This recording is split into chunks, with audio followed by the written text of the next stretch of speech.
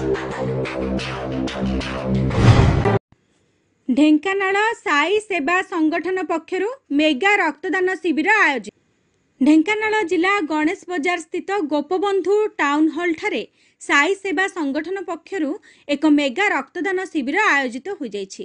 corona ମହାମାରୀ ସମୟରେ ଜିଲ୍ଲା ରକ୍ତ ଭଣ୍ଡାରରେ ରକ୍ତର ଘୋର ଅଭାବ ଦେଖାଦେଇଥିବା ସମୟରେ ଏହିଭଳି କାର୍ଯ୍ୟକ୍ରମ ଆୟୋଜିତ ହୋଇଯାଇଛି ସାଇ ସତ୍ସଙ୍ଗ ସେବା ଟ୍ରଷ୍ଟ ତରଫରୁ ଢେଙ୍କାନାଳର ଗଣେଶ ବଜାର ସ୍ଥିତ ଗୋପବନ୍ଧୁ ଟାଉନ୍ ହଲ୍ଠାରେ ଏହି ଶିବିର ଅନୁଷ୍ଠିତ ହୋଇଯାଇଛି ଏଥିରେ ମୁଖ୍ୟ ଅତିଥି ଭାବରେ ଜିଲ୍ଲା ମୁଖ୍ୟ ଚିକିତ୍ସା ଅଧିକାରୀ ସୁଜାତା ରାଣୀ ମିଶ୍ର ଯୋଗ ଦେଇଥିଲେ ଏହି ରକ୍ତଦାନ ଶିବିରରେ ଶହେ ତେପନ ୟୁନିଟ୍ ରକ୍ତ ସଂଗ୍ରହ ହୋଇଥିଲା ଜିଲ୍ଲା ରେଡ୍କ୍ରସ୍ ପକ୍ଷରୁ ବିରଞ୍ଚି ନାରାୟଣ ପାଣି ଏବଂ ରାଜକିଶୋର ବେହେରା ଉପସ୍ଥିତ ରହି ରକ୍ତଦାତାମାନଙ୍କୁ ଉତ୍ସାହିତ କରିଥିଲେ ଏହି ରକ୍ତଦାନ ଶିବିର ସାଇ ସତ୍ସଙ୍ଗ ସେବା ଟ୍ରଷ୍ଟ ପକ୍ଷରୁ ତୃତୀୟ ଥର ପାଇଁ କରାଯାଉଛି ବୋଲି ଟ୍ରଷ୍ଟର ଅଧ୍ୟକ୍ଷ ଶିବ ପ୍ରସାଦ ପଣ୍ଡା ସୂଚନା ଦେଇଛନ୍ତି